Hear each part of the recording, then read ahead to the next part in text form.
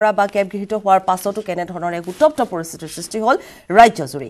তেজপুৰত বিজেপি কাৰ্যালয়ত অগ্নিসংযোগৰ চেষ্টা চলোৱা হ'ল। ওলাই আহিল হাজাৰ হাজাৰ লোক। ৰাজ্যসভাত কেব গৃহীত হোৱাৰ পাছতে ৰাইজ ক্ষুব্ধ হৈ পৰিল। আৰক্ষী অধীক্ষক অতিৰিক্ত আৰক্ষী অধীক্ষকৰ উপস্থিতিত বৃহৎ সংখ্যক আৰক্ষী মোতায়েন কৰা হয়। পৰিস্থিতি অনিয়ন্ত্ৰিত হৈ পৰে। বিজেপিৰ বেনাৰ পোষ্টাৰ ফালি জ্বলাই দিয়াৰ চেষ্টা কৰা হয়। তেজপুৰৰ দৃশ্য দেখুৱাইছো। তেজপুৰত বিজেপি কাৰ্যালয়ত অগ্নিসংযোগৰ চেষ্টা চলোৱা হয়। হাজাৰ হাজাৰ লোক ৰাজপথলৈ ওলাই আহে। কেব গৃহীত হোৱাৰ পাছতে আৰু অগ্নিগৰ্ভা হৈ পৰে সমগ্ৰ ৰাজ্য। আমি পুৱাৰ ভাগৰে পৰা গুৱাহাটী মহানগৰী শিৱসাগৰ বা ডিব্ৰুগড়ৰ খবৰ জনাই আহিছিলোঁ। সন্ধিয়াৰ ভাগলৈ অধিক উত্তপ্ত পৰিস্থিতিৰ সৃষ্টি হয় তেজপুৰত। কেব গৃহীত হোৱাৰ পাছতে তেজপুৰৰ বিজেপি কাৰ্যালয়ত অগ্নিসংযোগৰ চেষ্টা চলোৱা হয়। যথেষ্ট ৰাইজ ক্ষুব্ধ হৈ পৰে। হাজাৰ হাজাৰ ৰাইজ ৰাজপথলৈ ওলাই আহে আৰু যিসমূহ তাত বিজেপি কাৰ্যালয়ত যিসমূহ পোষ্টাৰ আছে বেনাৰ আছে সেইসমূহ তাৰ পৰা আঁতৰোৱা হয় জ্বলাবলৈ চেষ্টা কৰা হয়। কেব গৃহীত হোৱাৰ পাছতে এনেধৰণে ৰাইজ ক্ষুব্ধ হৈ পৰা দেখিবলৈ পোৱা যায় তেজপুৰত। টায়াৰ জ্বলাই প্ৰতিবাদ সাব্যস্ত কৰিছে। হাজাৰ হাজাৰ ৰাইজ ৰাজপথলৈ ওলাই আহিছে। কাৰণ অগ্নিগৰ্ভা হৈ থকাৰ সময়তে কেব গৃহীত হৈছে কালি গতিকে তেনে পৰিস্থিতিত দেখিবলৈ পোৱা গৈছে যে যথেষ্ট উত্তপ্ত এক পৰিস্থিতিৰ সৃষ্টি হৈছে। ৰাইজ যথেষ্ট ক্ষোভিত হৈ পৰিছে ক্ষুব্ধ হৈ পৰিছে। বিশেষভাৱে এই চৰকাৰখনক লৈ আৰু তাৰ পাছতে এনেধৰণে ৰাইজ ওলাই আহিছে। অগ্নিসংযোগৰ চেষ্টা চলাইছে বিজেপিৰ কাৰ্যালয়ত। তেজপুৰৰ দৃশ্য আমি দেখুৱাই গৈছোঁ। আৰু লগতে সেই সময়ছোৱাতে পৰিস্থিতি নিয়ন্ত্ৰণ কৰা হয় যদিও বা ৰাইজে টায়াৰ জ্বলাই জুই জ্বলাই প্ৰতিবাদী কাৰ্যসূচী গ্ৰহণ কৰে। সমগ্ৰ নিশাজুৰি ৰাইজে ৰাজপথতে এনেধৰণে প্ৰতিবাদ সাব্যস্ত কৰা দেখিবলৈ পোৱা যায় তেজপুৰত।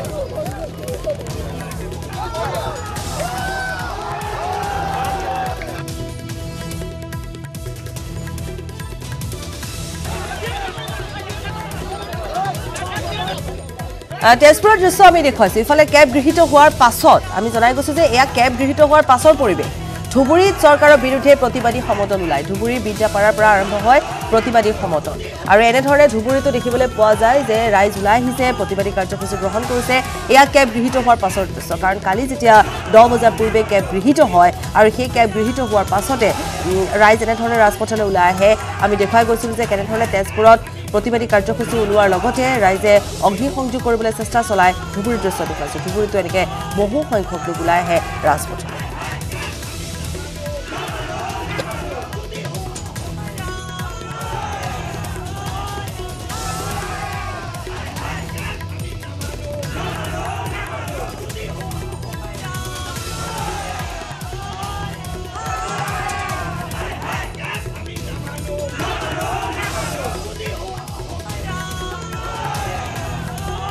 চৰকাৰ বিৰোধী শ্লোগানেৰে ধুবুৰীৰ দৃশ্য দেখুৱাইছোঁ উত্তাল হৈ পৰিছে ধুবুৰী।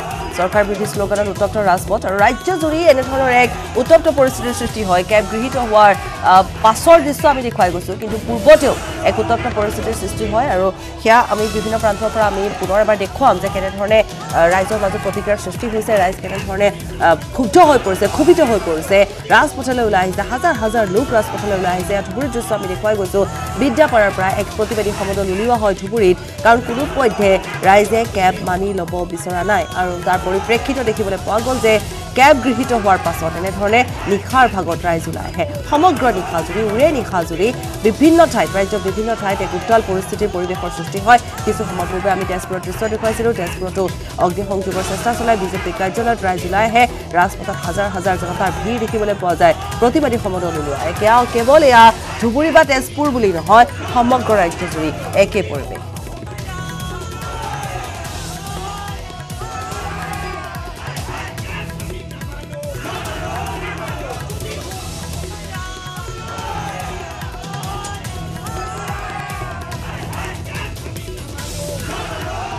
আহৈয়া ধ্বনিৰে এনেধৰণে ওলাই আহিছে। আমি কেব নামানো। আমি কেবৰ বিৰোধিতা কৰি যাম। বিভিন্ন শ্লোগান বিভিন্ন শ্লোগানেৰে ৰাজপথ উত্তাল কৰি ধুবুৰীত এনে এক পৰিৱেশে বিৰাজ কৰিছে। কালি উৰে নিশা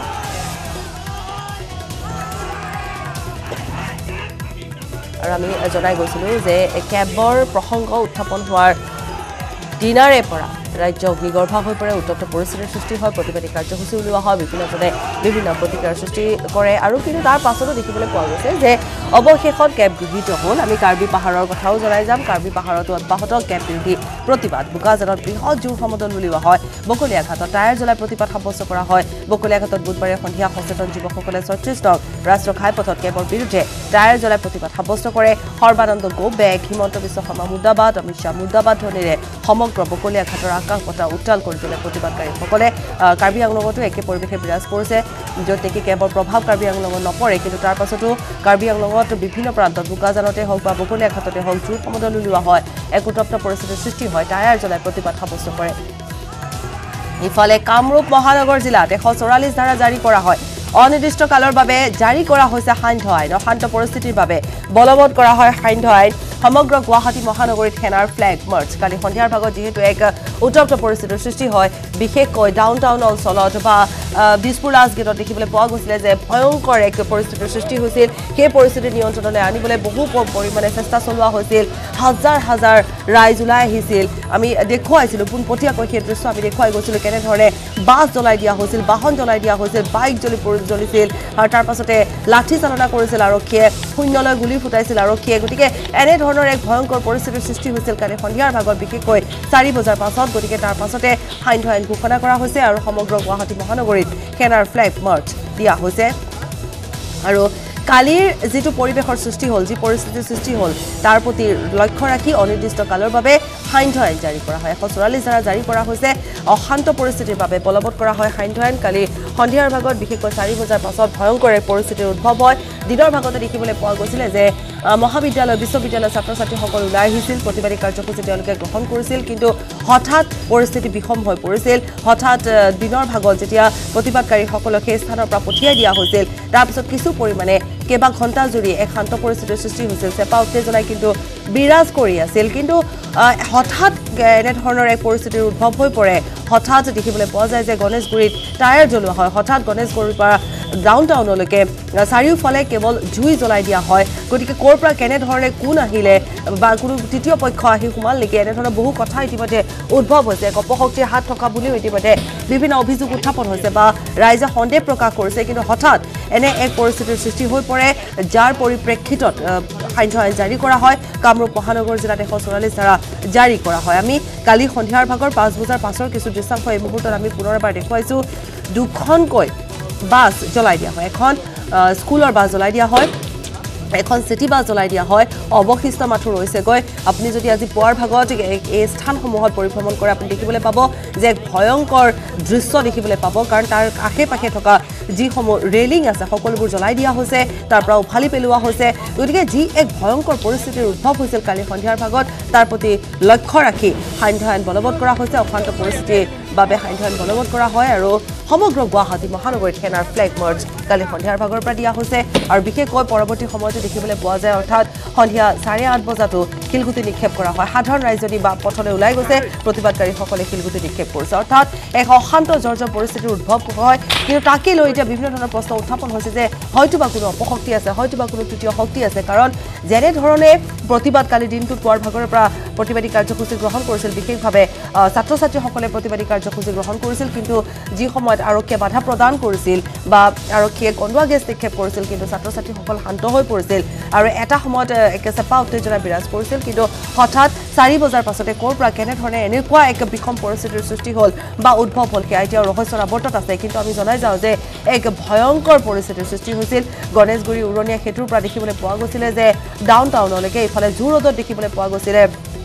হাজাৰ বিজাৰ ৰাইজ ওলাই আহিছিল। আহ, ৰাইজে তাতো টায়াৰ জ্বলাইছিল বা বিভিন্ন ঠাইত আৰু কালি বিশেষভাৱে দেখিবলৈ পোৱা গৈছিলে যে সমগ্ৰ গুৱাহাটী মহানগৰীৰ বিভিন্ন ঠাইত আনকি প্ৰতি ঠাইতে আচলতে বিভিন্ন ঠাইত ক'লেও চাগে ভুল কোৱা হ'ব প্ৰতি ঠাইত প্ৰতি স্থানতে জুই জ্বলাই প্ৰতিবাদ সাব্যস্ত কৰা হৈছিল। সেয়া হাতীগাঁৱে হওক ভেটাপাৰাই হওক বা গণেশগুৰিয়ে হওক জু ৰোডে হওক বা জি এছ ৰোডে হওক সকলোতে দেখিবলৈ পোৱা গৈছিল জুই মাথো জুই। উৰণীয়া সেতুৰ ওপৰত জুই আৰু সেই জুই এতিয়ালৈকে কিন্তু উমি উমি জ্বলি আছে।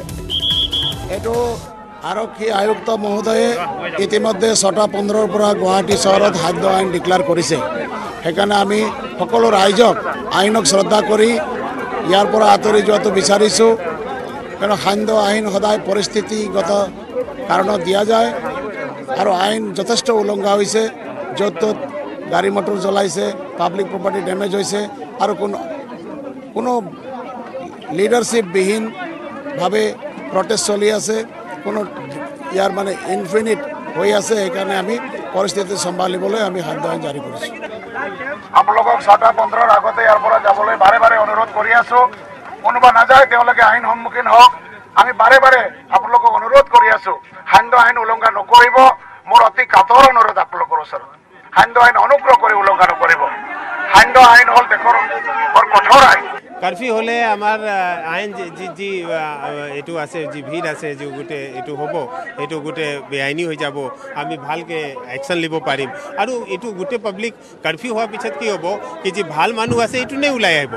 যি যি অপৰাধী প্ৰবৃত্তি আছে সেইটোৱে ওপৰাই আহিব তেতিয়া আমি তেনেকুৱা সমায়োজিত ব্যৱস্থা কৰিম সেইটো মেইন হয় কি কাৰ্ফিউ ভাল মানুহকে কৰিবৰ কাৰণে হয় কি এতিয়া স্থিতি এনেকুৱা হৈছে কি য'ত বহুত অসামাজিক তত্ত্ব আৰু এনেকুৱা তত্ত্ব যি আছে সেইটো কিছুমান তত্ত্ব এইটো হিংসা কৰি আছে আহ, তোড়ফোড় কৰি আছে তো সেইকাৰণে যি ভাল মানুহ আছে যি ইয়াত নাথাকে যি নকৰে সেইটো থাকিব আৰু তাৰপিছত যে যি আহিব এনেকুৱা কৰিব তেতিয়া আমি বিধিবদ্ধ ব্যৱস্থা গ্ৰহণ কৰিম কাৰ্ফিউটো লগোৱা হৈছে ছয় পোন্ধৰৰ পৰা শান্ত আইন লগোৱা হৈছে আৰু এইটো অনিশ্চিতকালীন লগোৱা হৈছে যেতিয়ালৈকে শান্তি বাহাল হৈ যাব তেতিয়ালৈ সেইটো আহ, কাৰ্ফিউটো ইম্প'জ থাকিব। খবৰ আৰু আছে সময় বিৰতি।